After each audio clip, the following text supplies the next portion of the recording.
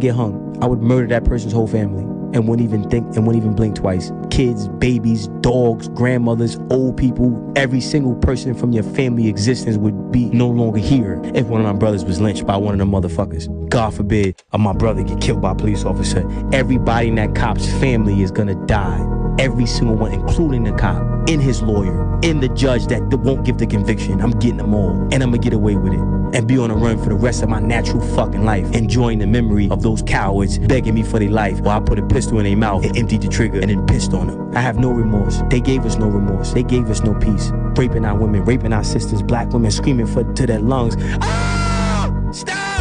White men laughing, having fun like it was some type of a game. 30 men on one woman raping her in front of their kids, in front of their dead husband. You think I give a fuck about somebody's opinion? I didn't forget. I make sure I remind myself the fuck these motherfuckers be doing. I don't give a fuck about Gaza. Give a fuck about Israel, Palestine.